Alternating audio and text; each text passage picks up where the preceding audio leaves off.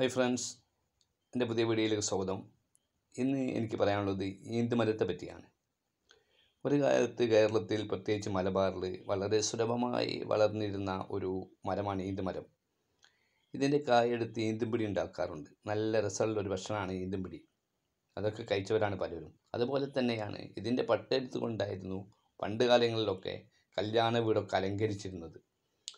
ഇനിയൊന്ന് പറയാനുള്ളത് ഈന്തുമരത്തിന് കൂടുതൽ കാലം നിൽക്കാൻ കഴിയും. അങ്ങനെ നശിച്ചു പോവില്ല. അതുകൊണ്ട് നീന്തിന്റെ മരത്തിന്റെ അടിയിലൊക്കെ പണ്ടൊക്കെ നീതിന്റെ ഒന്നും പറഞ്ഞ് കേട്ടിട്ടുണ്ട്. ഞാൻ കണ്ടിട്ടൊന്നുമില്ല. അങ്ങനെ പറഞ്ഞ് കേട്ടതാണ് പയമക്കാർക്ക് പറയുന്നുണ്ട് അതിന് കാരണം എന്തെന്ന് വെച്ചാൽ